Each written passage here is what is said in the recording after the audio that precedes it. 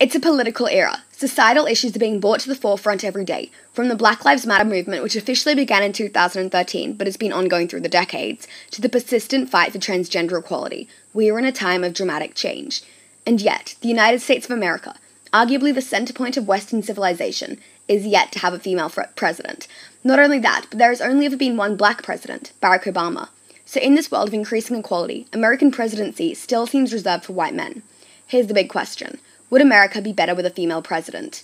In my eyes, it's not simple. Let's start by discussing Kamala Harris, already making history by being not only the first female vice president, but also the first African American and Asian American vice president, a tremendous leap forward in representation.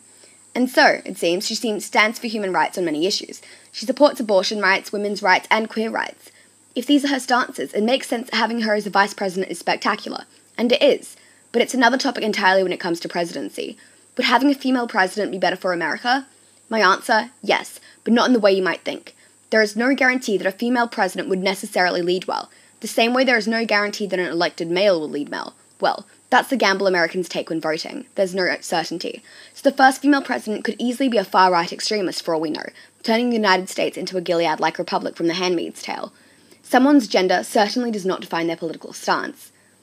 The reason a woman should be elected, therefore, is not as a way to introduce human rights policies, but rather as a reflection of human rights themselves.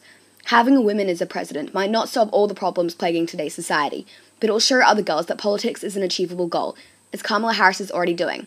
The same way having a non binary president would be good, as it would show other non binary kids that they can shoot for the stars as well. Having a female president might not solve all of the world problems, but it will solve one representation. Let's show everyone, not just white boys, that they can become politicians, that their voices can be heard. It's a political era, and the time for change is now.